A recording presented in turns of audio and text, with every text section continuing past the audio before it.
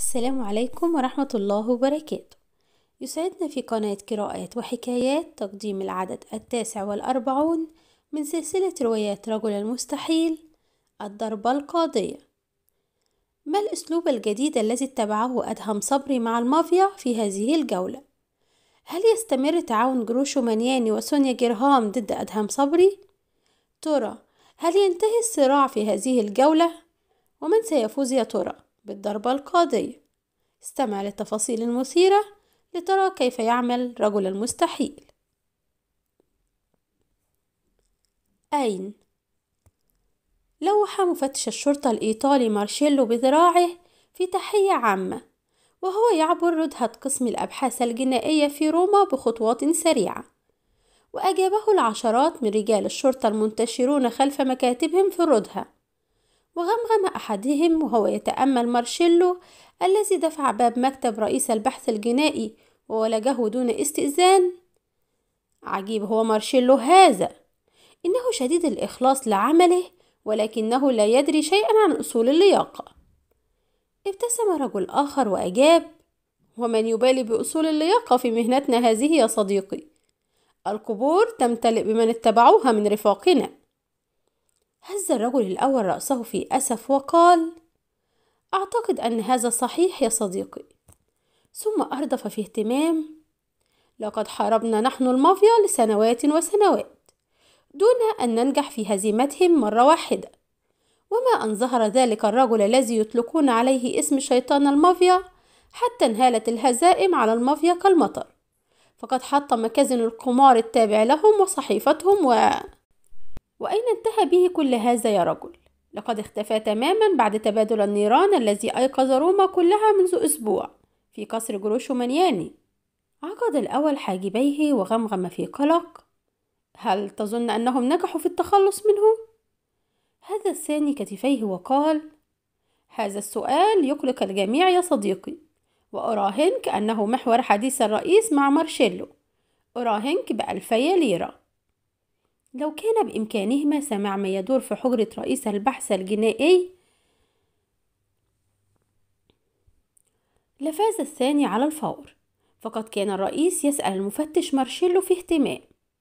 ألديك أنباء عن شيطان المافيا؟ حرك مارشيلو رأسه نفيا وقال ولا خبر واحد. حتى التحقيق الذي أجريناه مع جروشو ورجاله في الأسبوع الماضي لم يسفر عن شيء كالعادة. فلقد ادعى الجميع أنهم تعرضوا لهجوم مجهول والقانون يكفل لهم حق الدفاع عن أنفسهم. زفر رئيس البحث الجنائي في ضيق وقال أعتقد أنهم قد انتصروا هذه المرة أيضا يا مارشيلو. ابتسم مارشيلو وهو يقول كلا يا سيدي فلو أنهم فعلوا لنشروا الخبر بكل الوسائل الممكنة حتى يستعيدوا سطوتهم. ثم شرد ببصره وهو يستطرد إن ما أعتقده حقا هو أنه ابتعد قليلا استعدادا للجولة القادمة. لمعت عين الرئيس وهو يقول في جزل نعم أعتقد ذلك. ثم عاد يمد شفتيه في أسف ويقول من المؤسف أن يثير شيطان المافيا هذا إعجابنا كله ثم نضطر لاعتباره مجرما ونسعى للقبض عليه ولكن القانون هو القانون للأسف. تمتم مارشيلو في هدوء القانون ليس صورة العدالة الوحيدة يا سيدي هز الرئيس كتفيه وقال ولكنه عملنا الوحيد يا مارشيلو أومأ مارشيلو برأسه موافقا في ضجر ثم رفع عينيه في شرود وهو يغمغم ولكنني أتساءل أين هو؟ أين؟ دلفت الصحفية الشابة صوفيا إلى واحدة من حجرات منزلها الصيفي على شاطئ مصيف نابولي الإيطالي وتأملت في منى توفيق التي انهمكت في تنظيف مدفع رشاش ودارت ببصرها تتأمل أدهم صبري الذي استرخى في شرفة المنزل المطلة على شاطئ البحر وقد أغلق عينيه ومد قدميه فوق مقعد مقابل وهمست صوفيا وهي تسأل منى أهو نائم؟ هزت منى رأسها نفيا وقالت لا إنه لم يذق طعم النوم منذ البارحة عادت صوفيا تتأمل أدهم في إشفاق وغمغمت في حنان ما الذي يقلقه إلى هذا الحد؟ أقلقت لهجتها الحنون منى وبعثت في قلبها بعض الغيرة وهي تجيب إنه غير راضي عما فعله حتى الآن هتفت سونيا في دهشة كيف؟ لقد دمر معظم منشآت المافيا و أجابها أدهم هذه المرة دون أن يفتح عينيه هذا بالذات ما يضايقني يا عزيزتي صوفيا ثم فتح عينيه ونهض من مقعده وهو يردف في ضيق. هذا الأسبوع الذي قضيته هنا جعلني أرى الأمور على نحو مخالف. لقد كشفت أنني من خلال صراعي مع المافيا قد تحولت إلى مجرم مثلهم. وليست هذه الوسيلة المثلى لمحاربة المجرمين. هتفت صوفيا ولكن الجميع يرون أنك بطل. لوح بذراعه وهو يقول لا يعنيني ما يراه الجميع.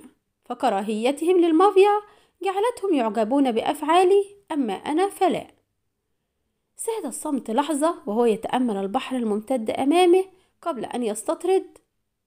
إنني منذ البارحة أبحث عن وسيلة نظيفة للقضاء على المافيا دون تدمير المنشآت وتعريض العشرات للخطر. وتهدج صوته وهو يردف في حزن. وسيلة تشبه تلك التي كنا نفعلها إبان عملنا في المخابرات المصرية.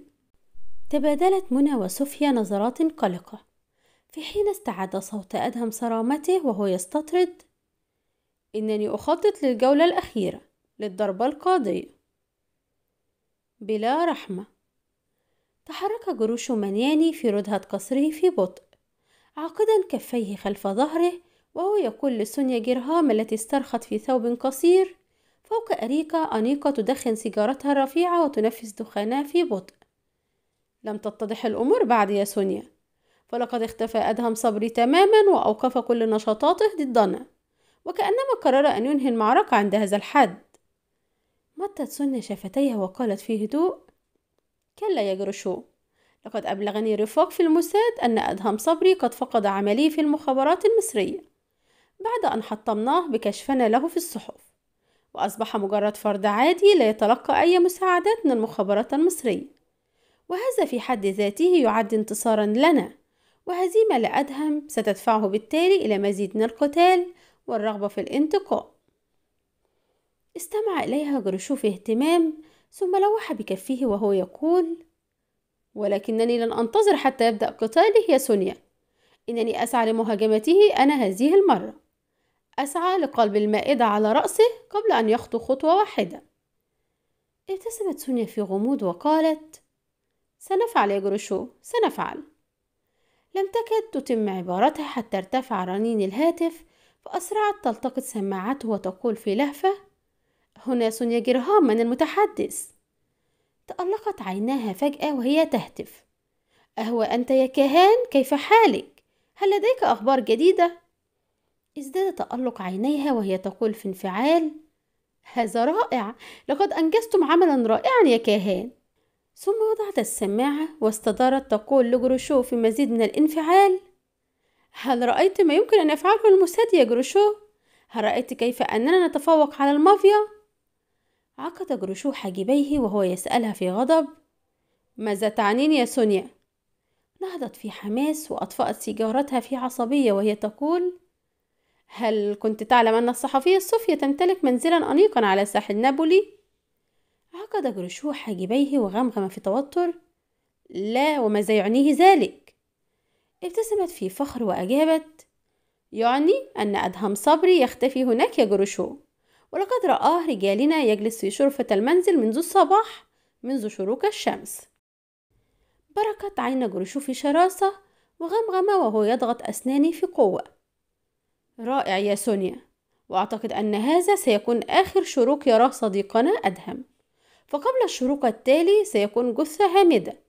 سأقتله هذه المرة بلا رحمة بلا رحمة على الإطلاق.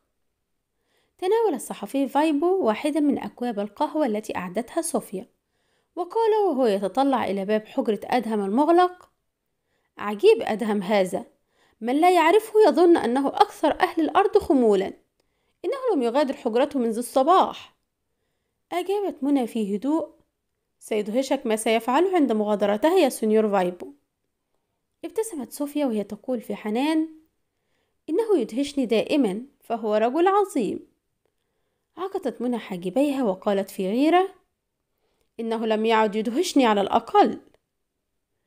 فتح أدهم باب حجرته فجأة عند هذه النقطة وابتسم وهو يقول في هدوء قلبي يحدثني أنكم تتحدثون عني. ضحك فايبو وقال يا إلهي إننا نفعل منذ الصباح يا رجل وها نحن أولاء في الحادية عشر والنصف مساء ولم نرك بعد. قالت منى في اهتمام هل توصلت إلى الخطة المناسبة يا أدهم؟ ابتسم أدهم وقال إلى حد ما يا عزيزتي منى. كانت منى تسأله عن تفاصيل الخطة لولا أن اندفعت صوفيا تقول في لهفة ألا ترغب في تناول الطعام؟ ارتسمت على شفتي أدهم ابتسامة جذابة وهو يقول سأتناول أي شيء ما دمت أنت ستعدينه يا عزيزتي صوفيا تهللت أسارير صوفيا في حين قطبت منى حاجبيها وقالت في سخط ألن نتحدث في تفاصيل الخطة أولا؟ اندفع فايبو يقول نعم كنت أحب أن قاطعه أدهم فجأة بإشارة من يده وبدأ وكأنه يصغى في اهتمام بالغ. إلى شيء ما مما أثار قلق الجميع وهمست منى وقد عاودها شعور المخاطرة. أهناك شيئا ما؟ أجابها أدهم وهو يقطب حاجبيه. أعتقد يا منى. لقد خيل إلي أنني أسمع صوت مدفع رشاش يعد للاستعمال هتف فايبو في دهشة. مدفع رشاش؟ قاطعه أدهم مرة أخرى بإشارة من يده وقال في صوت هادئ صمتا يا سينيور فايبو. وفي خفة النمر تسلل أدهم إلى نافذة الردهة واختلس نظرة سريعة منها ثم ابتسم في سخرية وقال لقد خال الطريق فجأة من المارة يا سادة وأعتقد أن الجولة القادمة لنا مع أوغاد المافيا ستبدأ بعد لحظات. الهجوم الليلي أتقن رجال المافيا خطتهم بقدر الإمكان هذه المرة وعملوا في خفة ومهارة باذلين أقصى جهدهم كي لا يشعر بهم أدهم إلا في اللحظة الحاسمة. في البداية عزلوا منزل صوفيا عن كل البيوت المحيطة به وأخلوها من سكانها في صرامة وقسوة وهم يحذرونهم من التفوه بكلمة واحدة ثم عزلوا تلك المنطقة من الشاطئ والطريق في سرعة وخشونة. حتى أصبحت لهم السيطرة الكاملة على المنطقة. وهنا بدأوا زحفهم الحذر للإحاطة برجل المستحيل ورفاقه وكل اثنين منهما معا في زحفهما. كانوا ثلاثين رجلا مسلحا بالمدافع الرشاشة يتحركون نحو المنزل في خفة وبدت الخطة هذه المرة شديدة الإحكام. حتى أن أحدهم همس في أذن رفيقه في فخر. أراهنك أنه لن يفلت هذه المرة. لقد صاغ دونجروشو خطته في مهارة. أجابه زميله في همس حذر انتظر حتى نصل إليه يا رجل. إنني لن أثق بالفوز على هذا الشيطان حتى أرى جثة هامدة تحت قدمي. انتفض جسدهما فجأة حينما سمع همسا ساخرا يقول من خلفهما أفسح الطريق أيها الوغدان فأنتم تعوقان الطريق إلى المنزل.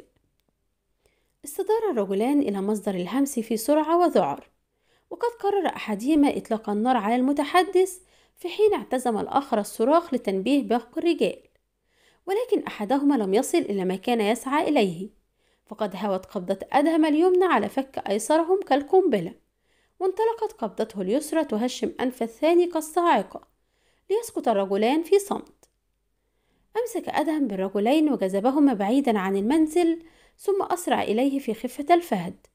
وتسلل إلى سيارة صوفيا التي قبعت ساكنة هناك واحتل مقعد القيادة وهمس متحدثا إلى منى التي تجلس إلى جواره وصوفيا وفايبو اللذين يجلسان في المقعد الخلفي. اخفضوا رؤوسكم جميعا فما أن أدير المحرك حتى تجدوا أوغاد المافيا في كل مكان. سأله فايبو في قلق. هل تظن أنهم يجرؤون على إطلاق النار على الرغم مما قد ينشأ عن ذلك من تنبيه لرجال الشرطة؟ ابتسم أدهم في سخرية وقال رجال الشرطة سينهمر الرصاص علينا كالمطر قبل أن يصل أول رجل شرطة يا صديقي غمغمت صوفيا في قلق وهل ستصمد السيارة أمام كل هذا الوابل من الرصاصات؟ هز أدهم كتفيه في لا مبالاة وقال لست أدري يا عزيزتي صوفيا سنختبر ذلك بعد لحظات. ثم أردف ويدير محرك السيارة ويا له من اختبار. لم يكد صوت محرك السيارة يرتفع حتى تسمر رجال المافيا جميعهم دفعة واحدة. ثم صاح زعيمهم في توتر اللعنة إنهم يحاولون الفرار بالسيارة أسرعوا إلى هناك. اندفع رجال المافيا كلهم إلى مكان السيارة. التي اندفع بها أدهم بغتة محطما بابه الخشبي ومنطلقا وسط رجال المافيا في حين جلست إلى جوار منى التي أبرزت مدفعها الرشاش من نافذة السيارة المجاورة لها. وأطلقت منه النيران في غزارة وجاوبتها رصاصات رجال المافيا التي هبطت على السيارة كالمطر محطمة هدوء نابولي ومحولة إياها إلى حلبة للصراع. تلقت السيارة المسكينة عشرات رصاصات فتحطم زجاجها الأمامي برصاصة مرقت إلى جوار أذن أدهم تماما وأخرى خدشت ذراع منى. وثقب أبوابها الأربعة ببعض الطلقات النارية وأن هيكلها المعدني من فرط ما ارتطم به من رصاصات. ولكنها أطاعت قائدها الجسور الذي كان يدير عجلة القيادة في مهارة ليدور حول رجال المافيا أو يرتطم ببعضهم ليشق طريقه خارج حصارهم وصاح زعيمهم في جنون الإطارات. أطلقوا النار على الإطارات. سمع ركاب السيارة الأمر في اللحظة نفسها فزاد أدهم من سرعة انطلاقه حتى لهث محرك السيارة وهو يحاول الاستجابة لأوامره. وأصيبت عجلة قيادتها بالجنون وأدهم ينطلق بها في خط متعرج محاولا تفادي سيل الرصاصات. وفجأة انفجر إطار السيارة الأمامي الأيسر وتبعه الخلفي الأيمن. وترنحت السيارة وتأرجحت وبات من المحتم أن تنقلب رأسا على عقب. ولكن قائدها كان أدهم صبري كان رجل المستحيل. تحولت قبضتا أدهم إلى قطعتين من الفولاذ وهو يقبض على عجلة القيادة. وتحركتا في الوقت ذاته كمطاط لدن وهو يديرها في خفة ومهارة مذهلتين ليحافظ على توازنها ويواصل اندفاعها عبر رجال المافيا. صاحت منى وهي تشير إلى نقطة على الطريق. يا إلهي لقد أقاموا حاجزا خشبيا لقد منعوا المرور من المنطقة. لم يبالي أدهم بعباراتها وإنما صاح في صرامة. احني رأسك يا منى. حنت منى رأسها في اللحظة ذاتها التي اندفع فيها أدهم نحو الحاجز الخشبي. غير مبالي بالرصاصات التي انطلقت نحوه ثم حنى رأسه بدوره عندما ارتطم بالحاجز. الذي صدمه الجزء العلوي من السيارة في قوة. كان لها صوت كالقنبلة وأطار سقف السيارة تماما في حين واصل أدهم اندفاعي بها ليبتعد عن منطقة الحصار. امتزجت أصوات رصاصات رجال المافيا بضحكة أدهم الساخرة وهو يقول لقد نجونا هذه المرة أيضا يا سادة. اعتدلت صوفيا ورفع فايبو رأسه في ذهول مع تأرجح السيارة القوي. وهي تندفع بأقصى سرعتها مع وجود إطارين تالفين ثم هتفت صوفيا في الذهول لقد تحولت سيارتي الجديدة إلى حطام. غمغم فايبو في سخط. صه يا صوفيا المهم أنك أنت سليمة. أدهشه أدهم حينما قال في هدوء أعتقد أننا لن نبقى هكذا طويلا يا صديقي. فقد ثقبت رصاصات هؤلاء الأوغاد خزان الوقود. ومبرد السيارة ولن نلبس أن نتوقف؟ وأعتقد أن سيارات هؤلاء المجرمين ستلحق بنا بعد لحظات. اتسعت عين صوفيا رعبا في حين هتف فايبو في ذعر يا إلهي بعد كل هذه المعجزات التي فعلتها؟ لم يكد يتم عبارته حتى ارتجفت السيارة في قوة وأصدر محركها صوتا كحشرجة قوية قبل أن يهدر هدرته الأخيرة وتتوقف السيارة تماما. هتفت منى في حنق يا إلهي. قفز أدهم خارج السيارة وهتف في لهجة آمرة. اتبعوني يا رفاق. سنحاول الاختفاء في هذه الغابة القريبة و غمرتهم فجأة أضواء سيارة قادمة من الاتجاه الآخر. فبطر أدهم عبارته وعقد حاجبيه في حزم وهو ينتزع مسدسه من حزامه ويشير إليهم قائلا. اختفوا داخل السيارة فربما كان هؤلاء الأوغاد قد أعدوا خطة احتياطية لمباغتتنا في حال هروبنا.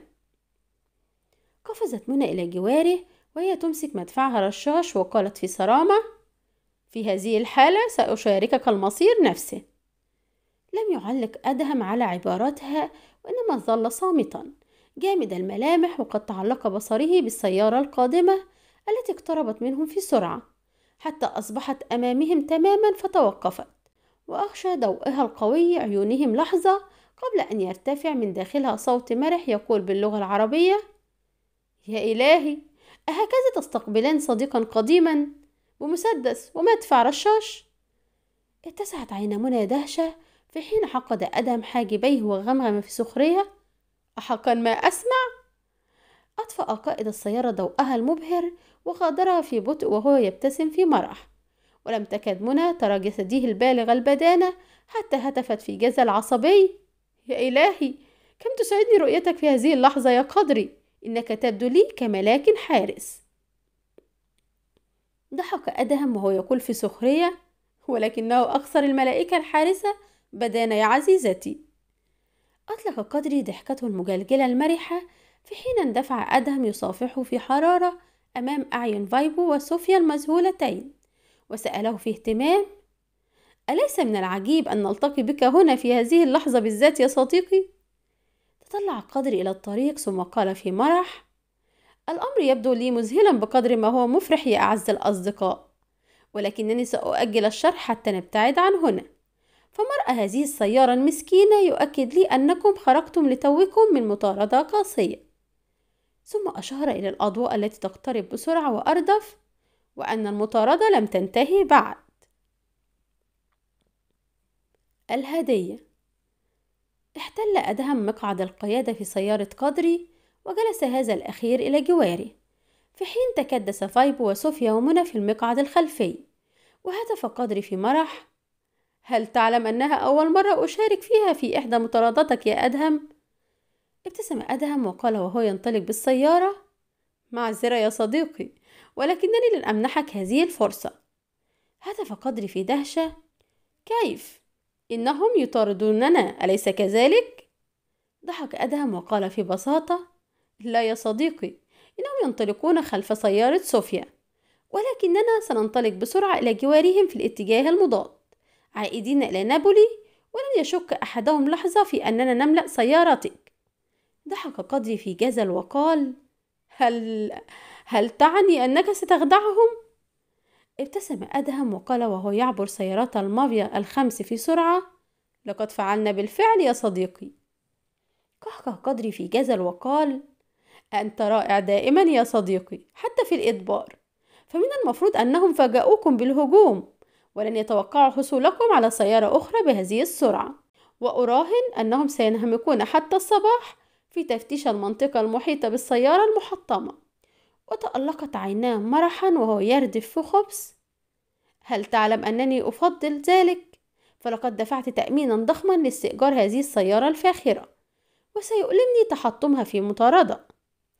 ابتسم أدهم وقال إنك لم تخبرني بعد كيف وصلت إلى هنا يا صديقي البديل.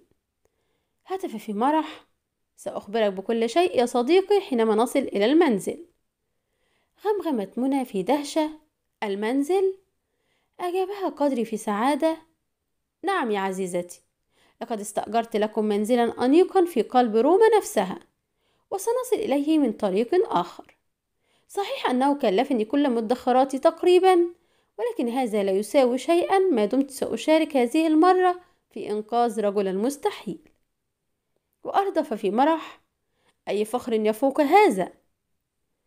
ألقى فايبو جسده المنهك فوق أقرب المقاعد إلى باب الشقة الفاخرة التي استأجرها قدري في قلب روما وهتف في راحة يا إلهي لم أظن أننا سنصل إليها أبدا واشتركت صوفيا ومنى في الجلوس على الأريكة الواسعة بادية الإرهاق في حين أشار قدري إلى الشقة وقال في مرح هل أعجبتك شقتي في روما يا عزيزي أدهم؟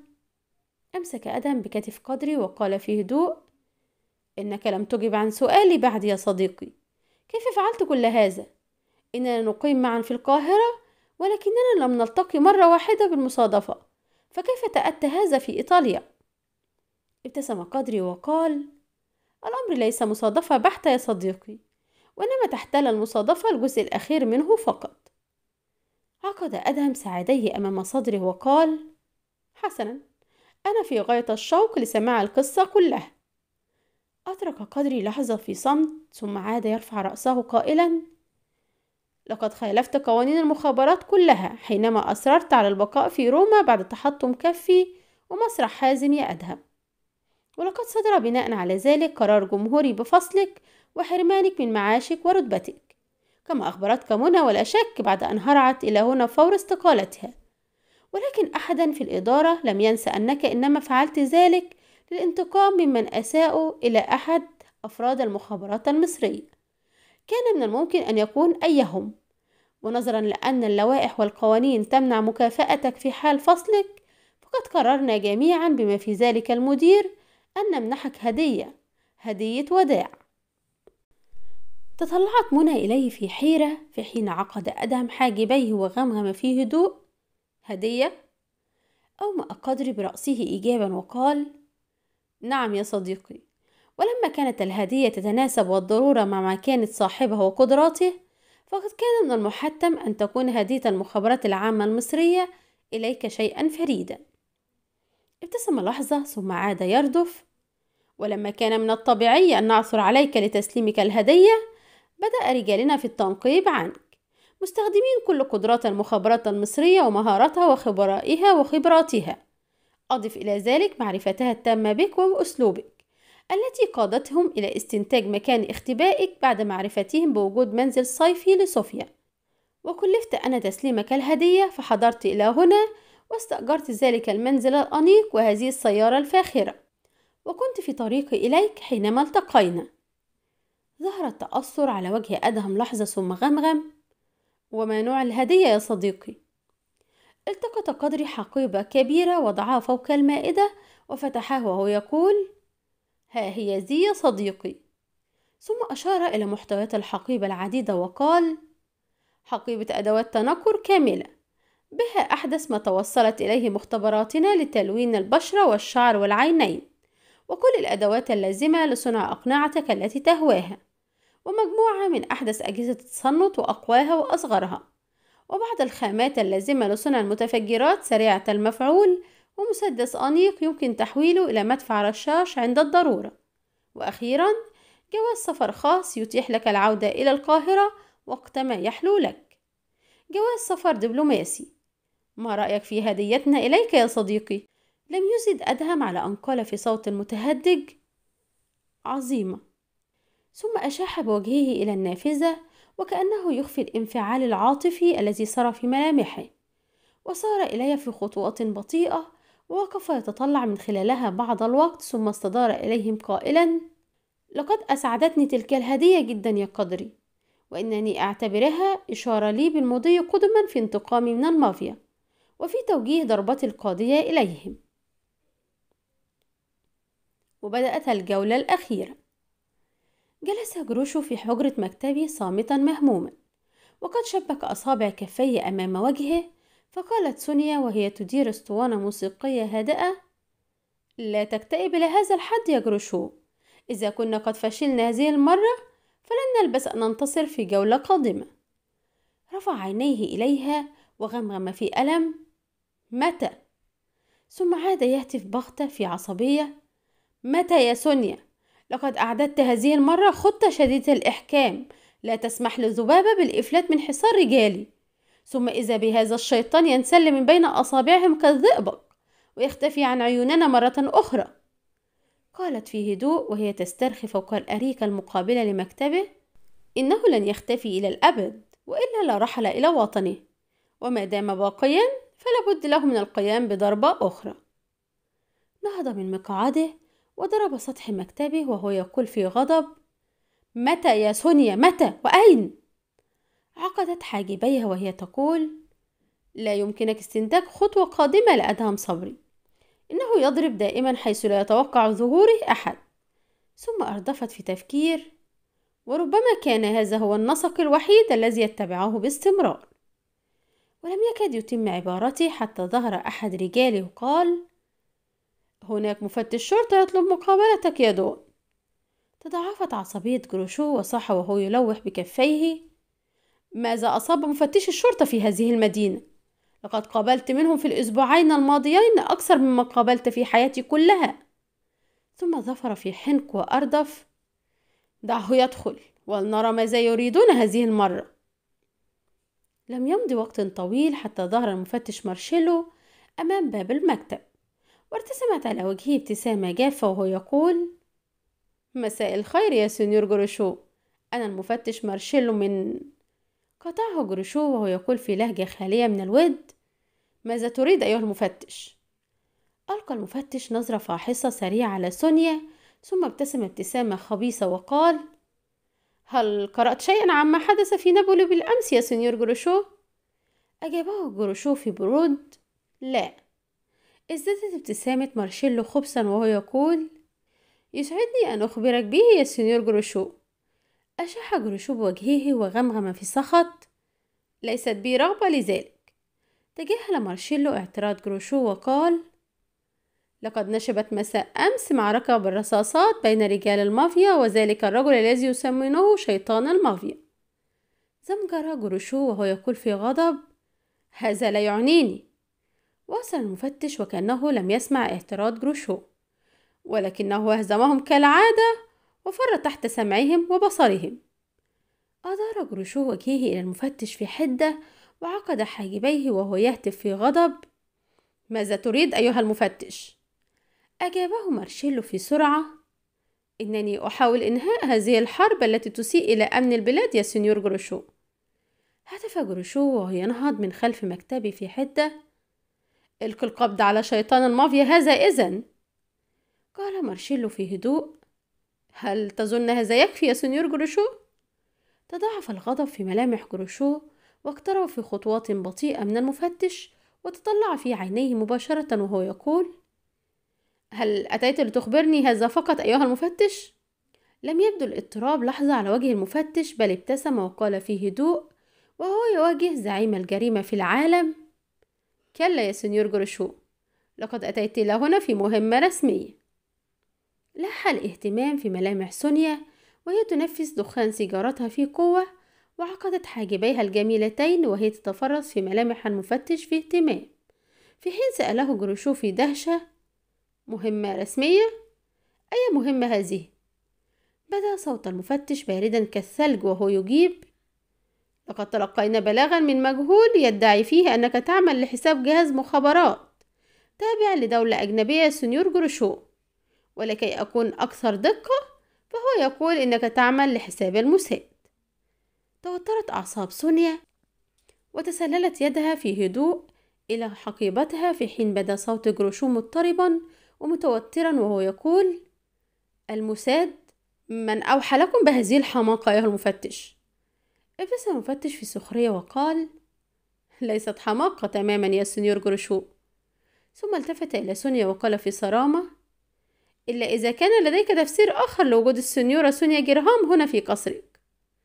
تراجع جروشو في ذهول في نفس اللحظة التي قفزت فيها سونيا وصوابت مسدسها الصغير الذي التقطته من حقيبتها إلى رأس المفتش مارشيلو وهي تهتف في حدة وشراسة انتهت اللعبة يا سادة.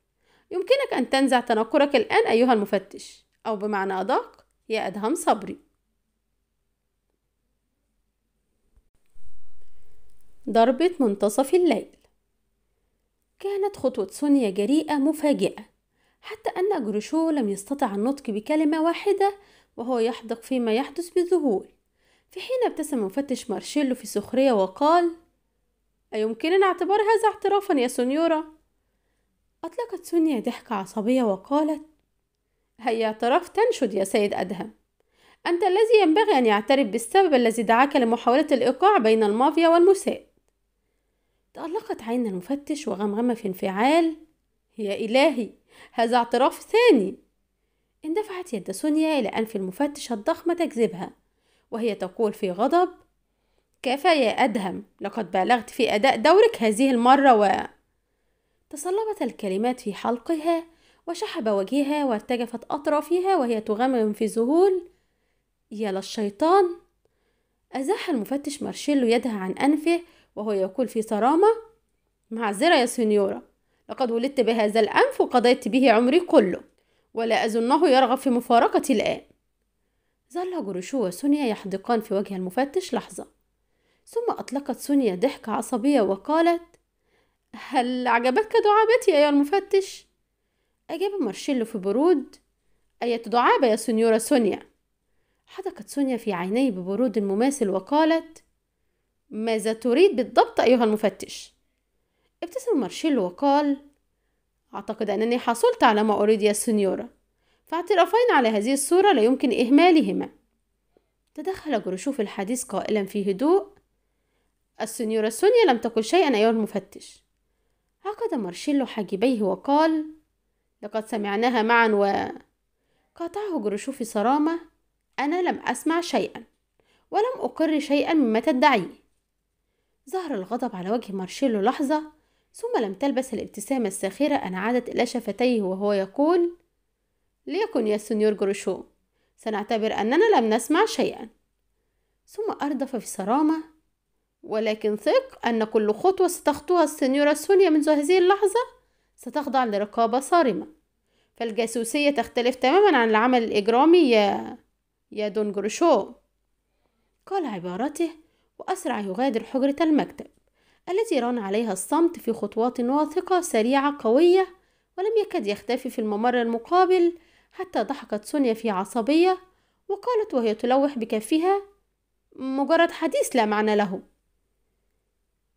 أجابها جروشو في صرامة بل يحمل الكثير من المعاني يا سونيا وأقلها ضرورة انسحابك من العملية والعودة إلى دولتك فورا. اتسعت عين سونيا وهتفت في استنكار. ماذا تقول يا قاطعها في صرامة أشد؟ إنني أعني كل كلمة نطقت بها يا سونيا منذ إنشاء منظمة الماريا في صقلية مع بداية هذا القرن على يد دون كريليون حرصنا أشد الحرص على ألا نتعرض للأمور التي تمس الأمن الخارجي لأي دولة نتغلغل فيها. وأصبح هذا مع نمو المنظمة وانتشارها ميثاقا غير مكتوب. ولقد كانت هذه حكمة بالغة من دون كريليون. فتحدينا للأمن الداخلي يثير حافظة رجال الشرطة والبحث الجنائي حقا. ولكن إلقائهم القبض على أي فرد منا يستلزم أدلة وبراهين وتعقيدات إدارية لا حصر لها. تساعدنا روتيناتها على الفرار في الوقت المناسب. أما من يحافظون على الأمن الخارجي كرجال المخابرات ومكافحة الجاسوسية وخلافهم فهم لن يسمحوا باستمرار وضع يعرض دولتهم للخطر. لمجرد عدم وجود دليل إنهم في هذه الحالة يضربون بلا رحمة ويحطمون بلا هوادة. كانت سونيا تعلم أن كل كلمة نطق بها حقيقة لا تقبل الجدل ولكنها قالت في اعتراض مجرد لاغو. عقد جروشو حاجبيه في غضب وقال في صرامة كفى يا سونيا إنني لن أقبل منك كلمة واحدة بعد هذه اللحظة. ثم نظر إلى ساعة الحائط وقال عندما تشير عقارب هذه الساعة إلى منتصف الليل تماما سآمر رجالي بقتلك إذا كنت لا تزالين هنا في قصري. ثم اندفع خارج حجرة مكتبه دون أن يسمح لها بنطق حرف واحد ولم يرى تلك النظرة القاسية التي حدجته بها قبل أن تغمغم في غضب. لقد أحسنت اللعبة هذه المرة يا أدهم صبري. لقد أتقنت أداء لعبتنا القديمة. فرق تسد ونظرت إلى عقارب الساعة التي أشارت إلى التاسعة والنصف. ثم التقطت سماعة الهاتف في عصبية وأدارت رقما خاصا. وأشعلت سيجارتها بأصابع متوترة. وهي تستمع إلى الرنين في الجانب الآخر. ولم تكد تسمع صوت المتحدث حتى قالت في صوت خفيض واضح الحنق كهان أريد منك أن تجند كل رجالنا في روما للبحث عن أدهم صبري. أريد منهم أن ينبشوا كل شبر في المدينة ويدفعوا كل الرشاوي الممكنة التي تكفي لحل الألسنة. ثم صاحت في غضب أريد أدهم صبري قبل منتصف الليل بأي ثمن؟ هل تفهمني يا كهان؟ بأي ثمن؟ الرجل والمدينة الساعة العاشرة تماما من مساء اليوم نفسه اجتاز مدير مكتب مكافحة التجسس الإيطالي بوابة وزارة الدفاع الإيطالية في سرعة وانفعال وأسرع نحو رهط من الرجال الذين أدوا التحية العسكرية في احترام قبل أن يسألهم المدير أين هو؟ هل ضبطتموه متلبسا؟ أشار أحد الرجال إلى حجرة جانبية وقال في حزم اكتسبه من العمل في هذا المجال لقد تسلل إلى هنا في مهارة مذهلة يا سيدي. ولقد ضبطه أحد حراس المبنى وهو يقوم بتصوير بعض الوثائق السرية العسكرية ولكنه لم يقاوم قط بل استسلم فور ضبطه وهو يلعن جروشو مانياني في سخط. عقد المدير حاجبيه وغمغم. جروشو مانياني ولكن لم يسبق للمافيا قط التورط في عملية تجسس. ثم أسرع إلى داخل الحجرة ووقف لحظة يتطلع إلى الشاب القوي مفتول العضلات أسود الشعر أخضر العينين ثم اندفع نحوه وقال يسأل أحد الرجال المحيطين به هل استجوبتموه؟ غمغم أحدهم كنا ننتظر حضورك يا سيدي رفع الشاب عينيه إلى مدير مكتب مكافحة التجسس وقال في ضراعة سأدلي باعتراف كامل يا سنيور وسيخفف هذا من عقوبتي أليس كذلك؟ أجابه المدير وهو يشعل سيجارته في توتر بلا شك بلا شك يا بني. أريد أن أعرف أولا من أرسلك ولماذا؟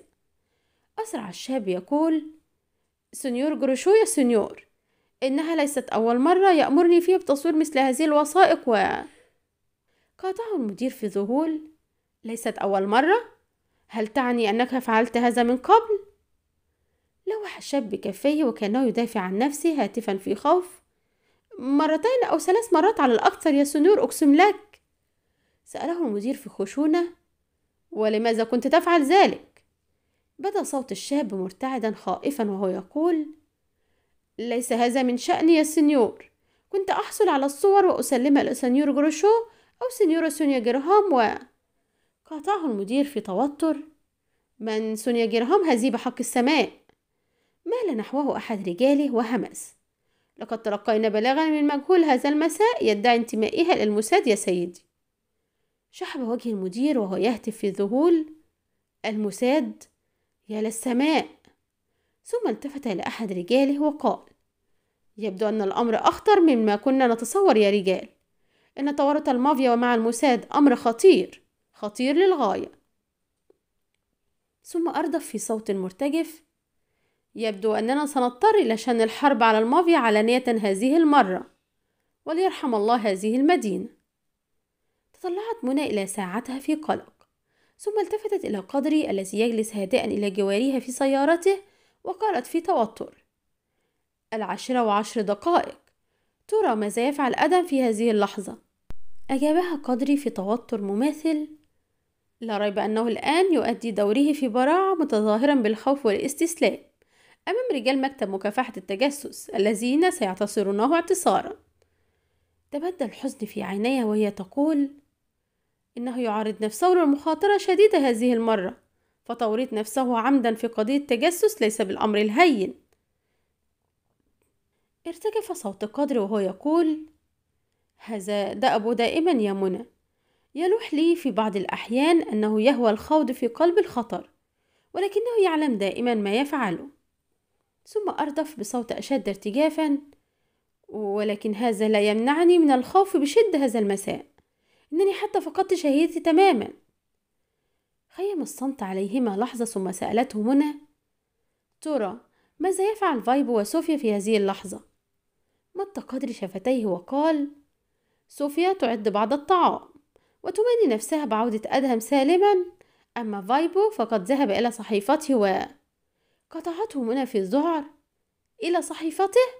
كيف يفعل هذا دون استشارة أدهم؟ ألا يعلم أن أحقر رجال المافيا يعلم أنه الخيط الوحيد الذي يقودهم إلى أدهم؟ ثم أردفت في غضب.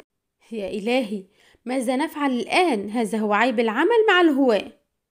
تفجر القلق في وجه قدري بعد أن تنبه إلى فداحة الأمر وغمغم في صوت مختنق.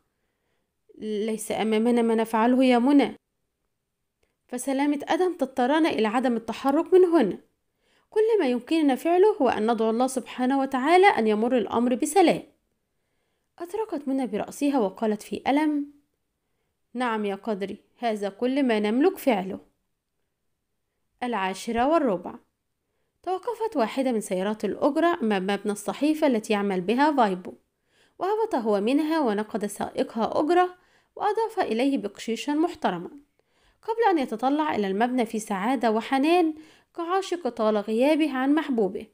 ثم تقدم نحو المبنى بخطوات سريعة وقبل أن يصل إليه اعترض طريقه فجأة رجل ضخم وقال في خشونة سنيور فايبو حسب ما أعتقد. سرى القلق بسرعة في عروق فايبو وصوته وهو يقول إنه أنا ماذا تريد؟ فجأة ارتفع مسدس ضخم في وجهه وسمع الرجل يقول سنذهب معا في رحلة قصيرة. تراجع فايبو في ذعر ونقل بصره في لهفة إلى حارس مبنى الصحيفة الذي أشاح بوجهه وكأنه لم يرى شيئا.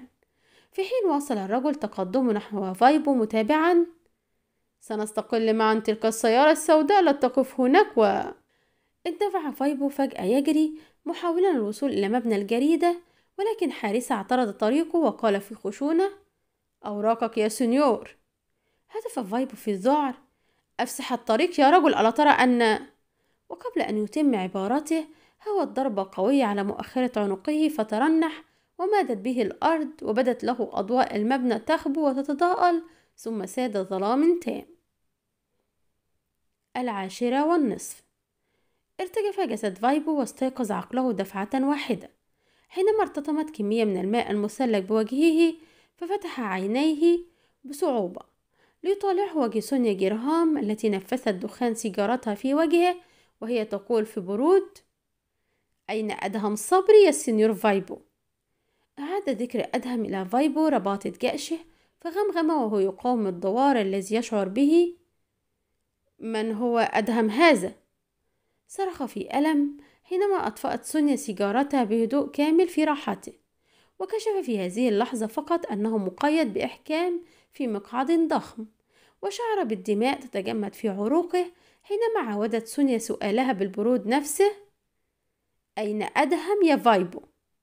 رفع فايبو عينيه في ألم يتأمل سونيا والرجل القصير الذي يقف إلى جوارها قبل أن يغمغم في ضعف صدقيني يا سنيورة إنني لا أعرف من أدهم صبري هذا ظهر الغضب على وجه سونيا وأسرعت تلتقط مطرقة ضخمة لوحت بها في وجه فايبو وهي تصرخ في غضب هل تريد الاحتفاظ بأصابعك سليمة يا فايبو؟ أخبرني أين أدهم صبري أو أحطمها كلها ارتجف جسد فايبو رعبا ولكنه تماسك وهو يقول لست أعرف من يدعى قبل أن يتم عبارته هوت سونيا بالمطرقة في غضب على يده اليسرى وارتج المكان بصرخة الألم والذعر التي انطلقت من بين شفتي فايبو عندما تحولت كفه اليسرى إلى كوم من اللحم المفري والعظام المهشمة وصرخ في ألم أيها الوحوش! عقد الرجل القصير الذي يقف إلى جوار سونيا حاجبيه وقال كفى يا سونيا؟ أنت تتمادين كثيرا هذه المرة. هذا يفوق ما فعلناه في دير ياسين. صحت سونيا في غضب. سيتكلم هذا الرجل يا كهان. سيخبرني أين أدهم صبري وإلا فسأحطم كل عظمة في جسده. وأمزق كل قطعة لحم فيه. أطبق كهان شفتيه في حنق في حين التفتت سونيا إلى فايبو وصاحت في قسوة لا تتفق وملامحها الفاتنة الرقيقة. أين أدهم صبري يا فايبو؟ أجب قبل أن أحطم عظامك كلها. تحول جسد فايبو إلى قطعة من الثلج من شدة الألم والخوف وتطلع إلى المطرقة الضخمة في رعب وهو يستعيد كل لحظة له مع أدهم صبري. مع الرجل الذي أصبح محور حديث المدينة كلها. اختلطت في رأسه ذكرى إنقاذ أدهم لحياته بالألم الذي أصابه من تهشم كفه اليسرى. واختلط في قلبه الألم والخزي وفي خضم مشاعره رفعت سونيا المطرقة مرة ثانية وهي تصرخ في غضب أين هو يا فايبو؟ وصرخ فايبو لا سأخبرك بما تريدين ولكن لا تضربي مرة أخرى أرجوك. وسالت دموع القهر والألم من عينيه. وهو يترك مستطردا سأخبرك بكل شيء وليغفر لي الله. الهجوم المزدوج. العاشرة وخمسة وثلاثون دقيقة. تعلق بصر منى وقدري بالطريق في صمت وبدت لهما الدقائق وكأنها تستغرق دهورا حتى هتفت منى وهي تظفر في ضيق. يا إلهي ألم ينتهي التحقيق معه بعد؟ متى يقررون نقله إلى الحبس الاحتياطي؟ أجابها قدري دون أن يستطيع إخفاء توتره في هذه اللحظة. كان أدهم يعلم أن الأمر سيستغرق وقتا طويلا يا منى ولكنه أعد خطة هربه في مهارة. فهذا الطريق الوحيد الذي يمكن اتخاذه من وزارة الدفاع الإيطالية إلى مكتب مكافحة التجسس حيث سيحتفظون به ولا ريب. وأعتقد أن منطقه مقبول في أنه سيكون داخل السيارة الوسطى. تتقدمه سيارة حراسة وتتبعه أخرى. وكل ما علينا فعله هو قطع الطريق بعد مرور السيارة الأولى وعليه هو بمعاونتك إكمال الأمر. فبدانتي لن تسمح لي ب قطعته منى في ضيق. كفى يا قدري لقد راجعنا هذه الخطة عشرات المرات حتى سئمت ترديدها. ثم أردفت في صوت مرتجف. المهم هو تنفيذها ونجاحها وإلا فقدنا أدهم صبري إلى الأبد. العاشرة وأربعون دقيقة. أشعل كيهان سيجارته ونفس دخانها وهو يلوح بكفيه في عصبية قائلا لست أصدق كلمة واحدة مما نطق به هذا الصحفي المخرف. قالت سونيا في انفعال وهي تتأكد من وجود رصاصتها الذهبية في مسدسها. بل ينبغي لك أن تصدق كل كلمة يا كاهان فمن المستحيل على رجل تعرض لكل هذا العذاب أن يبتكر في لحظات خطة منمقة ذكية كهذه. تؤكد معرفته بالجهة التي ننتمي إليها. وبأسلوب أدهم صبر في الوقت ذاته. ثم دست المسدس في حزامها وهي ترضف في حنق ثم إن هذه الخطة الجريئة تحمل توقيع أدهم صبري ولا ريب. قال كيهان وهو يتابعها في قلق. في هذه الحالة لابد لنا من الانسحاب من العملية فورا. فمخابراتنا لن تسمح بالتورط في قضية تجسس من أجل رجل واحد. حتى ولو كان هذا الرجل هو أدهم صبري نفسه. زمجرت سونيا وقالت في غضب فلتذهب مخابراتنا إلى الجحيم يا كاهان. سأقتل أدهم صبري ولو كان هذا آخر ما أفعله في حياتي. سأقتله قبل أن ينتصف الليل. صاح كهان في غضب. إنني أمنعك من المخاطرة يا سونيا. انتزعت سونيا مسدسها في سرعة البرق وصوبته إلى زميلها وهي تقول في غضب. حاول يا كاهان. توترت عضلات كاهان وقال وهو يضغط أسناني في عصبية. سأبرك إلى مخابراتنا على الفور. إنك ترتكبين أكبر حماقة في حياتك يا سونيا. هزت كتفيها في لا مبالاة وقالت افعل ما يحلو لك يا كاهان ولكنني سأرسل جثة أدهم صبري إلى مخابراتنا في صندوق دبلوماسي قبل أن تشرق شمس الغد. وتغلبت شراستها على رقة ملامحها وهي تردف في سخط أقسم لك. الحادية عشرة تماما. ضاقت حدقتا منى وهتفت في انفعال وهي تشير إلى مجموعة من الأضواء تقترب في سرعة. لقد وصلوا يا قدر استعد فسنقاتل هذه المرة من أجل أدهم. أدار قدري محرك سيارته وقال في انفعال مماثل إنني أتوق لذلك يا منى. وفجأة ارتفع في المنطقة صوت طلقات نارية واندفعت سيارة تعترض طريق سيارات رجال مكافحة التجسس الإيطاليين الذين ينقلون أدهم صبري إلى مقرهم وبدا وكأن معركة شرسة قد اندلعت فجأة. على بعد أمتار كثيرة من سيارة قدري ومنى فصاحت في ذعر. يا إلهي هناك من يحاول انتزاع السبق منا يا قدري. أسرع أسرع قبل أن نخسر كل شيء. كان أدهم يجلس هادئا مسترخيا بين اثنين من رجال مكتب مكافحة التجسس الأشداء. في حين كانت عضلاته تستعد للعمل وهو ينتظر الوصول إلى نقطة اللقاء التي أعدها مسبقا بالاتفاق مع منى وقدري. ولكنه فوجئ بالسيارة السوداء التي اعترضت الطريق وبوابل النيران الذي سقط فجأة على سيارات رجال مكافحة التجسس الثلاث. كان الأمر عنيفا مفاجئا ولكن أدهم عرف منذ اللحظة الأولى أنها ليست الخطة التي أعدها ولم يكن الأمر يحتاج إلى ذكاء نادر لاستنتاج طبيعة المهاجمين. كان من الواضح أن خطته قد كشفت بوسيلة ما وأن مهاجميه من رجال المافيا أو الموساد أو كليهما وأن عليه في كل الأحوال أن يحاول الفرار. وفجأة نفض أدهم ذلك الخنوع الذي تظاهر به طويلا ودفع رجل مكافحة التجسس إلى يمينه وهو يقول في سخرية معذرة يا صديقي لقد تبدلت الأمور. احتار رجال مكتب مكافحة التجسس بين صد ذلك الهجوم المباغت ومحاولة منع أدهم من الفرار ولم يذهلهم الهجوم بقدر ما أذهلتهم تلك الجسارة المفاجئة والمرونة المذهلة التي انبعثت فجأة في جسد أسيرهم الذي قفز من السيارة في رشاقة واستقبل أحد رجال الموساد بلكمة قوية ثم التقط مدفعه الرشاش قبل أن يسقط على الأرض وأطلق منه النار على المهاجمين. ازداد ظهور رجال مكتب مكافحة التجسس وهم يتساءلون إلى أي جانب يحارب أدهم. ووصل ذهولهم إلى ذروته حينما رأوا فتاة رائعة الجمال بالغة الرقة تندفع وسط النيران المتبادلة في جسارة مذهلة وتصوب مسدسا ذهبيا صغيرا إلى قلب أدهم وتصرخ في لهجة أقرب إلى الجنون الوداع يا أدهم صبري. كان رجال الموساد قد سيطروا على الموقف تقريبا. وأجبروا رجال مكتب مكافحة التجسس المذهولين على الاستسلام إلا أن هذا بدأ عديم التأثير على أدهم الذي تحركت قدمه في سرعة مذهلة لتركل المسدس الذهبي ثم قفز يلتقطه في الهواء وهو يقول في سخرية لم يحن وقت الوداع بعد يا عزيزتي سونيا وفجأة اندفعت سيارة فاخرة وسط الأحداث وصاحت فتاة حسناء من داخلها أسرع يا أدهم لم تتوقف السيارة ولم تخفض من سرعتها ولكن أدهم بدا مذهلا من سرعة استجابته وفي قفزته المدهشة التي ألقت به فوق سقف السيارة التي انحنت بغتة في طريق جانبي وامتزجت صرخة القهر التي أطلقتها سونيا بتلك الضحكة الساخرة التي جمدت الدم في عروق الجميع والتي أطلقها أدم صبري قبل أن تختفي السيارة في الطرق المتشابكة. وفي لحظة واحدة اندفع رجال المساعد إلى سياراتهم على رأسهم سونيا. وانطلقت السيارات تحاول اللحاق بسيارة قدري التي تحمل خصمهما اللدود. توقفت المعركة فجأة كما بدأت وتبادل رجال مكتب مكافحة التجسس نظرات مذهولة قبل أن يغمغم المدير في شحوب. ما الذي يحدث؟ إنني لم أعد أفهم شيئا.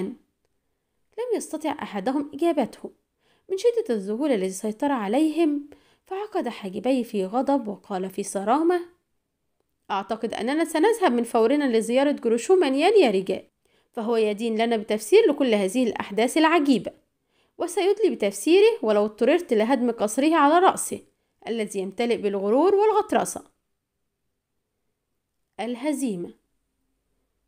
تهاوت سونيا جرهام فوق مقعد واسع ودفنت وجهها بين كفيها.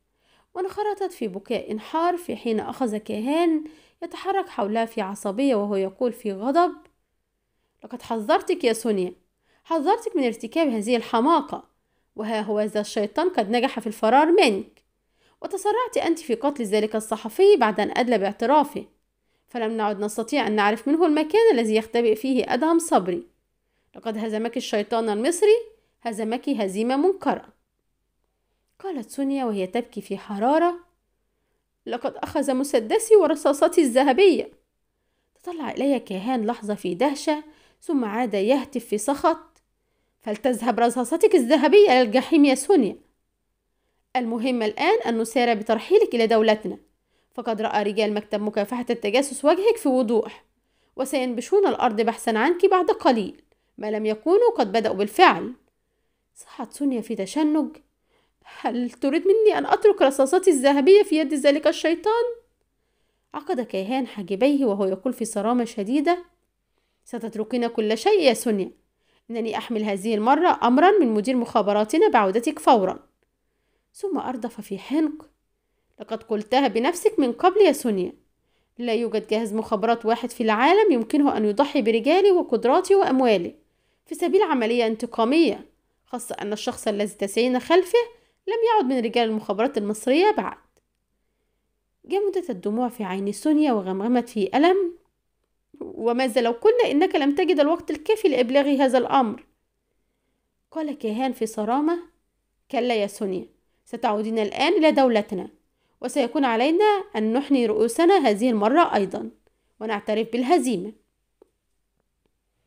عادت الدموع تسيل من عين سونيا وهي تقول نعترف بالهزيمة؟ عاد كاهان يعقد حاجبيه ويقول في صرامة هناك مقعد ينتظرك في الطائرة التي ستقلع إلى دولتنا بعد قليل يا سونيا. هتفت سونيا في ضراعة. أرجوك يا كاهان أجابها في صرامة لا تقبل الجدل. الآن يا سونيا. عاد الغضب يكسو ملامحها ونهضت وهي تقول حسنا حسنا يا كاهان سأرحل. ثم أردفت في سخط وشراسة. ولكن جولاتي مع أدهم صبري لم تنتهي بعد. ويوما ما سأقتله. نعم يا كاهان سأقتله.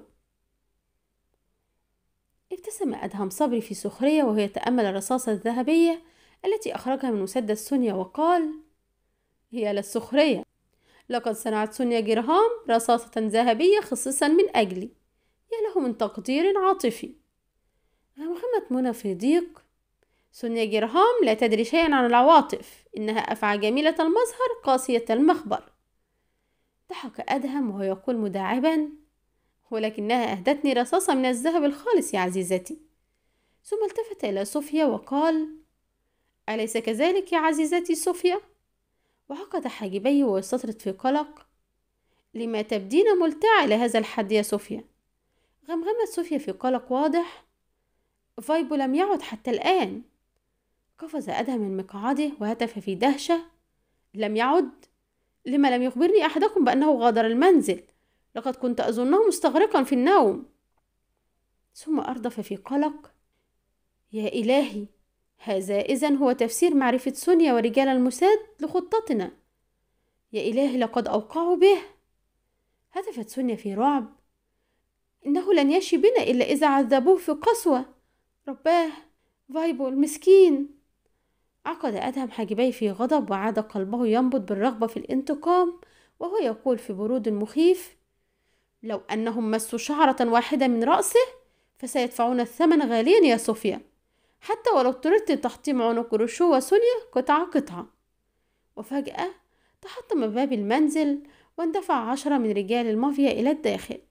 وقبل أن يتحرك أدهم حركة واحدة ارتفعت فوهة المدافع الرشاشة العشرة في وجهه. وعبر جروش منيان باب المنزل في خطوات هادئة بطيئة ثم أشعل سيجارته في غطرسة وابتسم ابتسامة شامتة وهو يقول في هدوء ها هو ذا عنقي رهن إشارتك يا سنيور أدهم. إنني لم أشأ إرهاقك فأتيت إليك بنفسي. وأراهنك أن هناك عنق سيتحطم هذا المساء. ولكنني أشك في أنه عنقي يا شيطان المافيا. وتحطم قلب اتسعت عين صوفيا في رعب وتوترت أعصاب منى وقدري في حين عقد أدهم ساعديه أمام صدره وقال في صرامة وبرود أين فايبو يا جروشو؟ ابتسم جروشو وقال في هدوء دون جروشو يا سنيور أدهم هذا هو اللقب الذي يناديني به الجميع ثم أردف وهو ينفث دخان سيجارته في برود لقد طردت سونيا من قصر يا سنيور أدهم ربما كان هذا الأمر عجيبا ولكنني أراهن أنك كنت تتوقعه عندما بدأت خطتك لكشفها. ظلت ملامح أدهم صارمة جامدة في حين لوح جروشو بكفيه في حركة متغطرسة وتابع ولقد كنت أتوقع بالطبع أن سونيا لن تستسلم. فاشتريت أحد رجالها بمبلغ يسير له اللعاب وطلبت منه أن يخبرني بكل خطوة تخطوها تلك الفاتنة الشرسة. وكان الرجل مطيعا للغاية. ونال مكافأة ضخمة حينما نقل لي اعترافات ذلك الصحفي المسكين وتركت أنا سونيا تخاطر بالحصول عليك. واكتفيت بمراقبة المعركة. ورأيتك تفر في مهارة مذهلة فتبعتك إلى هنا. قاطعه أدهم في برود. أين فايبو يا جروشو؟ ابتسم جروشو في سخرية وقال لقد رحل إلى حيث الراحة الأبدية يا سنيور أدهم. ولكن لا تقلق. سرعان ما تلتقون به جميعا في جنة الأغبياء. شهقت صوفيا وهي تهتف في ألم. فايبو. وتفجر بركان من الغضب من أعماق أدهم واندفعت حممه في عروقه. فصرخ في صوت ارتجفت له روما كلها. أيها الأوغاد. ثم انطلقت قبضته كالقنبلة في وجه أقرب رجال المافيا إليه. توافق رائع ذلك الذي ينشأ بين أفراد المخابرات حينما يعرف كل منهم الآخر جيدا. لم يكاد جروشو يتحدث بسخريته السخيفة عن مصرع فايبو حتى توقع قدري ومنى ما يمكنه أن يفعله أدهم واستعد كل منهم لمعاونته فورا ولم يكاد هو يحطم وجه أول رجال المافيا حتى ركلت منى وجه رجل ثاني وألقى قدر جسده البالغ البدانة فوق ثالث وهو يقول في سخرية معذرة أيها الوغد هل يضايقك ثقلي؟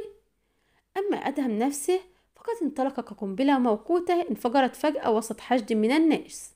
فركلت قدمه إحدى المدافع الرشاشة وأطاحت قبضته بآخر. وهشمت قبضته الأخرى أنف رجل وأطاحت قدمه الثانية بأسنان آخر. كان كالإعصار في هجومه وكالعاصفة في قتاله. تراجع جروشو في الذهول أمام المفاجأة ثم نفض ذهوله في سرعة وأسرع ينتزع مسدسه ويصوبه لأدهم مغمغما. يا للشيطان! رأت صوفيا جروشو وهو يصوب مسدسه إلى أدهم ورأت أدهم ومنى وقدري يولونه ظهورهم وانتفض قلبها. وهي تتصور نفسها تفقد الرجل الذي احتل قلبها بعد أن فقدت رفيق عمرها. فانقضت على جروشو وهي تصرخ كلا إنك لن تفعل. وانطلقت رصاصة جروشو انطلقت لتستقر في قلب صوفيا التي غاضت الدماء من وجهها وترنحت قبل أن تهوي أرضا. أدارت الرصاصة رؤوس الجميع إلى مصدرها ورأوا جروشوه يندفع هاربا. فدار أدهم على عقبيه في سرعة وحطم فك آخر رجال المافيا ثم قفز إلى حيث سقطت صوفيا. وهو يهتف لن أسمح لهذا الوغد بالإفلات! هتفت منى في ألم وهي تعود من النافذة. فات الوقت يا أدهم. لقد كانت هناك سيارة تنتظره انطلقت في سرعة بمجرد أن قفز داخلها.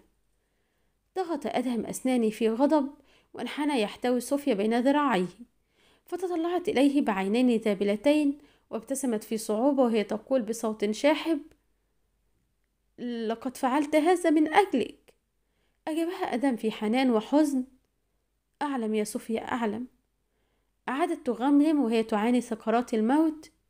لقد كنت أتمنى أن أحيا إلى جوارك ولكن منى أفضل مني. مس أدهم شفتي بأنامله في رقة وغمغم في ألم. لا تتحدثي كثيرا يا صوفيا.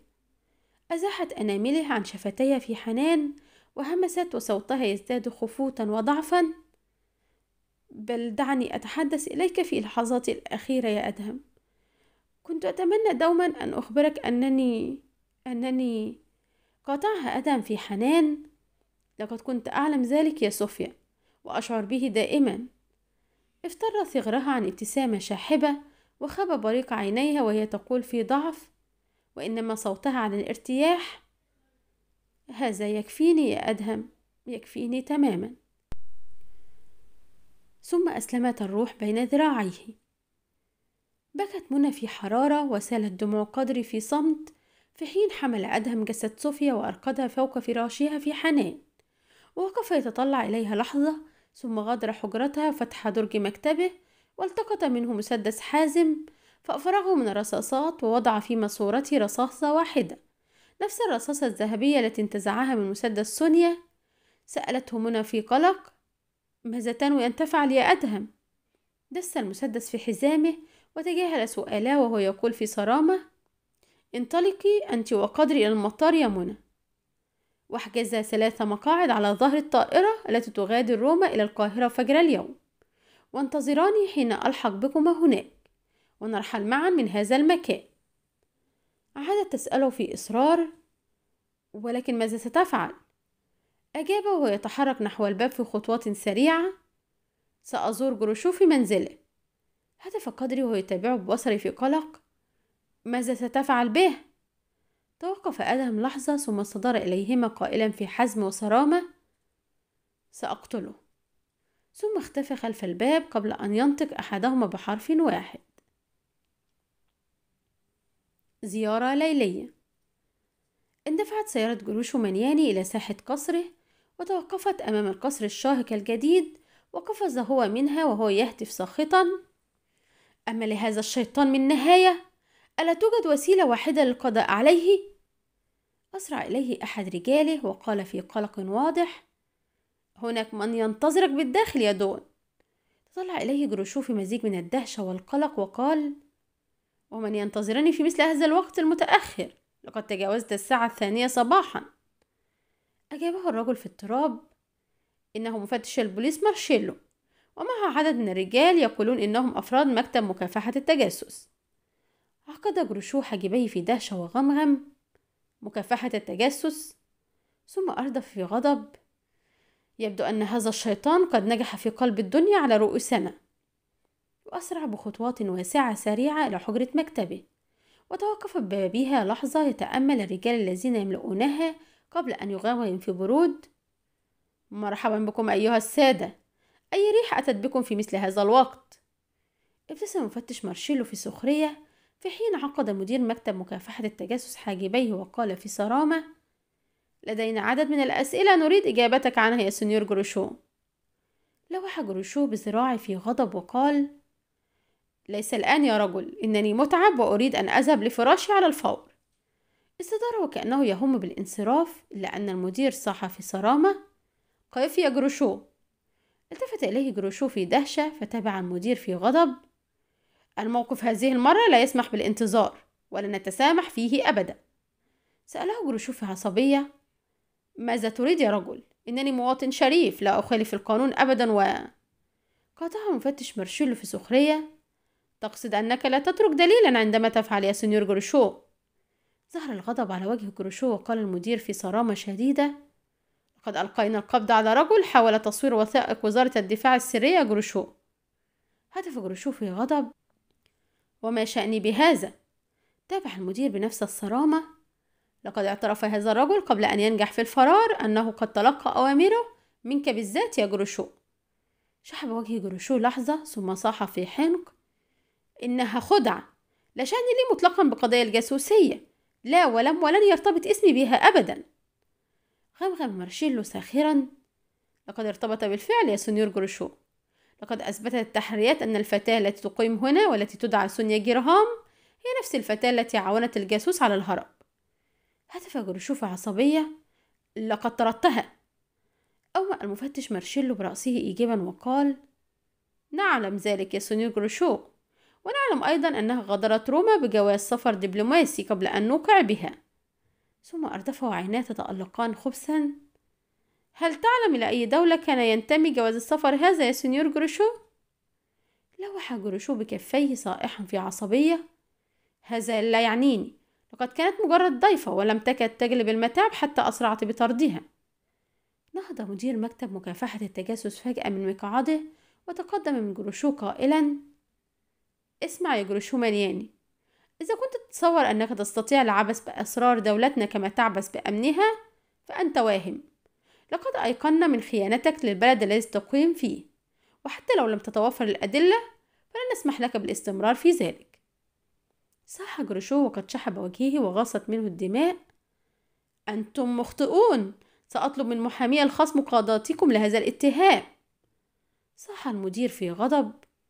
اصغ جيدا يا جروشو! كلنا نعلم أن فرار الجاسوس قبل تدوين أقواله وتسجيلها يمكنه أن يبرئك. ولكنني أقسم أنك لن تستمر في فعلك الدنيء هذا حتى ولو اضطررت لقتلك بنفسي. اتسعت عينا جروشو في رعب عجيب وهي تطلع إلى النافذة. التي تقع خلف الرجال ولم يلبس سر فزعه أن تبين؟ حينما ارتفع من النقطة التي يحدق فيها صوت أدهم صبري يقول في برود دع عنك هذه المهمة يا سيدي سأتولاها بنفسي. ساد الصمت بضع لحظات والجميع يحدقون في ذهول في وجه أدهم صبري. الذي يصوب إليهم فوهة مدفع رشاش إلى أن هتف مدير مكتب مكافحة التجسس في دهشة. من أنت يا سنيور؟ ولماذا تقتحم المكان وتهددنا على هذا النحو. أجابه أدم في هدوء لا يخلو من الصرامة. ألا تعرفني يا سيدي؟ أنا الرجل الذي تطلقون عليه اسم شيطان المافيا. هتف مارشيلو في انفعال وعيناه تتألقان في شدة. أنا أعرفك يا شيطان المافيا. إنني أحفظ صورتك منذ ظهرت على شاشة التلفزيون. كان الانفعال يتملك الجميع وهم يتطلعون إلى الرجل الذي شغل إيطاليا كلها. وبدا هذا الانفعال واضحا في صوت المدير وهو يقول ماذا تريد يا سنيور؟ أشار أدهم إلى جروشو وقال في صرامة وغضب أريد هذا الوغد يا سيدي. صاح جروشو في عصبية ألا تعرف أيها المدير؟ إنه الرجل الذي انتحل شخصية الجاسوس في محاولة لتوريطي في الأمر. نقل الجميع أبصارهم بين أدهم وجروشو ثم غمغم المدير في شك وحيرة ولكنه لا يشبهها أبدا يا سنيور جروشو. صاح جروشو في توتر وهو يلقي جسده خلف مكتبه فوق مقعده الأنيق.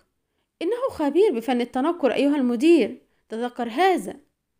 انبثق فجأة سؤال في ذهن المدير فأسرع يلقيه قائلا كيف وصلت إلى هنا يا شيطان المافيا؟ أجابه أدهم في حزم لكل وسائله الخاصة أيها المدير. غمغم جروشو في سخرية أثارت دهشة الجميع. نعم يا سنيور أدهم لكل وسائله الخاصة. ثم قفز فجأة من خلف مكتبه وألقى شيئا يشبه ثمرة الأناناس الصغيرة نحو أدهم وهو يصرخ. وهذه وسيلتي يا سادة. لم يخطئ أحد الحاضرين معرفة ذلك الشيء.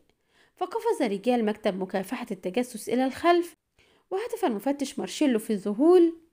يا إلهي إنها قنبلة قنبلة منزوعة الفتيل سينسفنا هذا المجنون جميعا. الرصاصة الأخيرة رأى أدهم القنبلة وهي تندفع نحوه حاملة الموت في طياتها ورأى جروشو وهو ينطلق هاربا من مكتبه وكان عليه أن يختار ما بين إيقاف جروشو أو القنبلة واتخذ أدهم قراره في سرعة مذهلة نقل المدفع الرشاش إلى يده اليسرى وقفز في رشاقة يلتقط القنبلة في راحته اليمنى. ثم دار على عقبيه في خفة وألقى القنبلة من النافذة واندفع خلف جروشو في نفس اللحظة التي انفجرت فيها القنبلة في حديقة القصر. كان جروشو يعدو في سرعة مذهلة وكأنما بعث الرعب في جسده قوة إضافية وصاح وهو يقفز في سيارته. شيطان المافيا يطاردني يا رجال أوقفوه اقتلوهم جميعا. شهر رجال المافيا مدافع من رشاشة واندفعوا يسدون الطريق في وجه أدهم صبري. في حين أطلق جروشو لسيارته العنان هاربا من القصر ولكن أدهم صبري كان في هذه اللحظة كتلة من الغضب. كان غضبه قد أملى عليه قرارا بألا يوقفه شيء أي شيء. وفوجئ رجال المافيا بأنهم لا يقاتلون رجلا واحدا. بل كتيبة كاملة من المقاتلين الأشداء أذيبت كلها وصبت في جسد رجل واحد. رجل يدعى أدهم صبري. بدأ أدهم كبطل أسطوري وهو يتفادى رصاصات رجال المافيا. وينطلق نحوهم في جسارة مذهلة وهو يطلق مدفعه رشاش في مهارة. وتراجع رجال المافيا أمام رجل واحد رجل كالقنبلة. لم يكاد صوت الرصاصات يرتفع حتى صاح مدير مكتب مكافحة التجسس يا إلهي إنه قتال علني هذه المرة. انتزع رجالي أسلحتهم وظهرت الصرامة في ملامحهم. في حين كان مارشيلو أول من اندفع خلف أدهم ومسدسه مشهور في يده وهو يقول في سخرية كم تمنيت هذه اللحظة؟ انطلق بدوره يطلق رصاصاته على رجال المافيا ورآهم لدهشته يتراجعون أمام أدهم الذي قفز داخل سيارة أخرى وانطلق بها خلف سيارة جروشو. فاندفع مارشيلو بدوره إلى سيارة ثالثة وأطلق النار في طريقه على مهاجميه وهشم فك آخر بلكمة ساحقة. قبل أن يشترك بدوره في المطاردة تاركا رجال مكتب مكافحة التجسس يتبادلون النيران مع رجال المافيا وهو يحدث نفسه مغمغما في انفعال اشحذ حواسك كلها يا مارشيلو فيبدو أنك ستشاهد الجولة الأخيرة من ذلك الصراع الرهيب. مطاردة مجنونة تلك التي دارت في شوارع روما ذلك المساء. كان جروشو ينطلق بأقصى سرعة تستطيع سيارته الانطلاق بها غير مبالي بمن يفرون من أمامه ومن يرتطم بهم ويلقي بهم على جانبي سيارته وخلفه كان ينطلق أدهم في سرعة خرافية وكأنه يجبر سيارته على تجاوز سرعتها القصوى وكان جروشو يفسح له في الطريق بسيارته لينطلق هو في شوارع خلط من المارة وخلفه وعلى مسافة قريبة نوعا انطلق مارشيلو. مطاردة ثلاثية عجيبة. لم يستطع رجال الشرطة أنفسهم اللحاق بها. حتى تجاوزت السيارات الثلاث حدود المدينة وانطلقت في الطريق الخارجي. اقتربت سيارة أدهم من سيارة جروشو الذي حاول عبثا زيادة سرعته. ولكن أدهم كان يقود كشيطان ثائر. ولم تلبث السيارتان أن التقيتا عند أول منحنى. غمغم جروشو في غيظ يا للرجل أي قوة تلك القادرة على تحطيمه؟ ثم مال فجأة خارج الطريق وسط أطلال أثرية قديمة واندفع بينها قبل أن يوقف أدهم سيارته ويعود للانطلاق خلفه. كان جروشو يندفع بين الأطلال ويدور حولها في مهارة عالية. تؤكد أنه يعرف المكان ويألفه جيدا في حين كان على أدهم أن يبطئ من سرعته نسبيا ليتفادى الارتطام بأيا منها. فتألقت عين جروشو في ظفر وهتف في شماتة. هنا تخسر أيها الشيطان. لم يكد يتم عبارته حتى أصدر محرك سيارته حشرجة عجيبة. فانتقلت عيناه في ذعر إلى لوحة الإرشادات في السيارة. وشحب وجهه وهو يغمغم. يا للشيطان لقد نفد الوقود دون أن أشعر. قفز من السيارة في ذعر وانتزع مسدسه وهو يتطلع في رعب إلى أضواء سيارة أدهم التي تقترب منه في سرعة. ورفع فوهة مسدسه نحوها وأطلق النار. اخترقت رصاصات جروشو الزجاج الأمامي لسيارة أدهم قبل أن ينطلق جروشو عدوا وسط الأطلال فأوقف أدهم سيارته وقفز منها لينطلق خلفه. كان جروشو يجري وكأن شياطين الأرض كلها تطارده وكان أدهم يتابعه في إصرار فيدور خلف بعض الأطلال ويقفز فوق بعضها الآخر. حتى اختفى جروشو وسط مبنى نصف متهدم فتوقف أدهم لحظة. وضرب عينيه في أرجاء المكان ثم عقد حاجبيه وغمغم في صرامة حسنا يا جروشو لقد اخترت أرض الصراع وسأختار أنا النهاية. أخذ جروشو يلهث من فرط الانفعال والتعب وهو يختفي خلف أحد حوائط المبنى. وارتفعت دقات قلبه في قوة وهو يحاول حبس أنفاسه ويقبض على مسدسه في توتر هامسا في عصبية. أين ذهب هذا الشيطان؟ لقد ساد الصمت في المكان كله. وعاد يردف وهو يرتجف غضبا. أين ذهب؟ قفز من مكانه وسقط مسدسه بين قدميه وجمدت الدماء في عروقه حينما سمع صوت أدهم الصارم يقول خلفك أيها الوغد. صدر جروشو في رعب ورفع ذراعيه إلى أعلى وصح في صوت مرتجف الرحمة يا سنيور أدهم الرحمة. لم ينطق أدهم بكلمة واحدة. وقف ثابتا صارما يصوب مسدسه إلى جروشو. ورأى جروشو برودة الثلج في عين أدهم واشتم رائحة الموت من فوهة مسدسه. فخر ساجدا على ركبتيه وضم كفيه وهتف في ضراعة. أرجوك يا سنيور أدهم أنا أكره الموت. لم يتحرك أدهم قيد أنملة ولم تهتز في جسده شعرة واحدة. كان يتذكر سلسلة الموت التي ارتبطت بصراعه مع المافيا تذكر تحطم كف قدري مصرع حازم مقتل ماستورياني تذكر موت فايبو وحنين عين صوفيا وهي تلتقط أنفاسها الأخيرة. اختلطت ذكرياته بصرخة جروشو لا تقتلني يا سنيور أدهم. وفجأة قفز جروشو نحو مسدسه والتقطه ثم أدار فوهته نحو أدهم وصرخ سأقتلك أنا. وشق صوت رصاصة سكون الليل.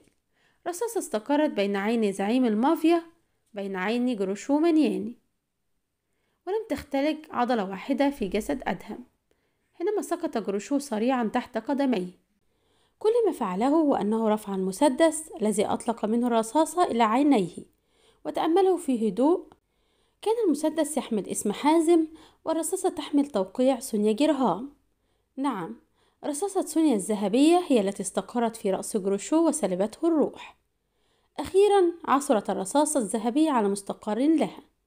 وفي هدوء عجيب انحنى أدهم ووضع المسدس الفارغ الذي يتصاعد الدخان من فوهته على صدر جروشو واعتدل واقفا ورفع عينيه إلى السماء وتمتم في ارتياح. فلتستقر روحك في السماء يا حازم لقد انتقمت لك. انبعث من أمام مدخل البناء المهدم صوت هادئ يقول هذا لا ينفي أن ما فعلته يعد في القانون جريمة قتل عمد مع سبق الإصرار والترصد يا شيطان المافيا.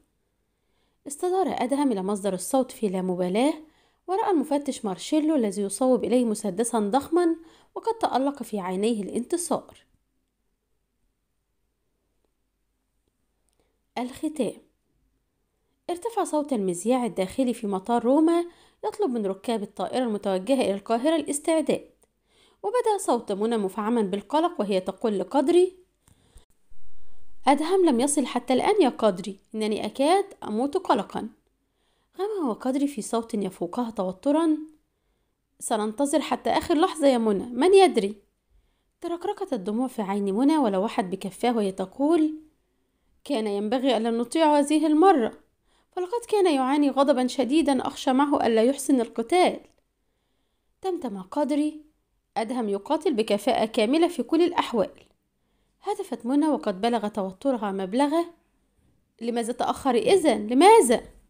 استرخى أدهم في المقعد المجاور لمارشيلو الذي انطلق بسيارته في سرعة نحو مطار روما تاركا أدهم نهبا لأفكار شتى لقد تصور في البداية أن مارشيلو سيلقي القبض عليه بتهمة قتل جروشو مانياني ولم يكن هذا يعنيه بعد أن حقق انتقامه ووجه ضربته القاضية الأخيرة للمافيا ولكنه فوجئ بمارشيلو يعيد مسدسه إلى غمده ويقول في حماس هيا يا رجل أفضل ما تفعله الآن هو أن تغادر البلاد فورا. لم يفهم أدهم سر تصرف مارشيلو خاصة أنه قد كان يعلم أن مفتش الشرطة هذا شديد الإخلاص لعمله. لم يفهم ولكنه لم يعترض. كان مارشيلو يقوده إلى المطار وكأنه يعرف تفاصيل الخطة التي وضعها أدهم لهروبه بعد انتهاء مهمته. ظل صامتا مسترخيا حتى لاحت أضواء المطار فسأل المفتش في هدوء لما فعلت ذلك أيها المفتش؟ ابتسم مارشيلو وغمغم هل تقصد لما أعاونك على الفرار؟ أومأ أدهم برأسه إجابا فعاد مارشيلو يبتسم ويقول هل جننت يا رجل؟ أكنت تريد مني أن أتلقى سخط إيطاليا كلها؟ كلا يا صديقي إنني لن أحمل على كتفي عار إلقاء القبض على شيطان المافيا الذي بعث السعادة والأمل في قلوب الإيطاليين جميعا. ثم أردف في سخرية فيما عدا رجال المافيا بالطبع غمغم أدهم في هدوء. هذا هو السبب الوحيد. امتلأ صوت مارشيلو بالحماس وهو يقول ألا تدري ماذا فعلت يا سنيور أدهم؟ لقد حطمت وحدك أسطورة المافيا التي أنشأها دون كريليون على دماء الأبرياء. أنت وحدك سحقت سلالتي كلها. دون ريكاردو كاميلو مايكل كارلو. وحتى الرجل الوحيد من خارج الأسرة الذي كان يمكنه تزعم المنظمة لقي حتفه على يديك منذ لحظات. لقد حطمت أسوأ أسرة في التاريخ يا رجل. ولم يعد باقيا من سلالة دون كريليون سوى ابنته كارولينا. ولا أظن أنها تصلح للزعامة. صمت لحظة ثم عاد يردف بمزيد من الحماس. لقد مزقت وحدك ذلك الستار الأسطوري المخيف الذي أحاطت به المافيا نفسها على مر السنين يا سنيور أدهم. لقد أثبتت أن المافيا ليست وحشا لا يمكن هزيمته. لقد أظهرت ضعفها وهذا أمر بالغ الأهمية. غمغم أدهم. المافيا أكبر من أن يهزمها رجل واحد أيها المفتش. إن رجالها ينتشرون في قارات الأرض الست. هتف مارشيلو. مشوار الألف ميل يبدأ بخطوة يا سنيور أدهم. ولقد وضعت أنت أقدامنا على الخطوة الأولى.